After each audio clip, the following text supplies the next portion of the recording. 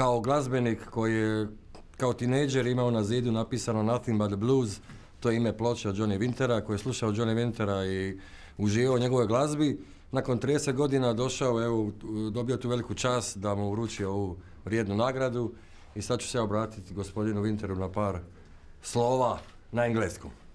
Mr. Winter, Yes. this award, a Croatian uh, uh, Grammy, is just a little drop of gratitude for the big ocean of your great music. Oh, thank you very much. Thank you for the music, Mr. Winter. There is your.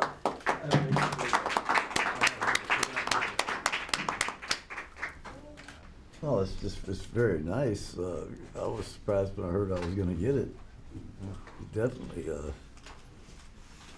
but it's, you know, it's, like I said, it's just, I'm very appreciative of, of getting it.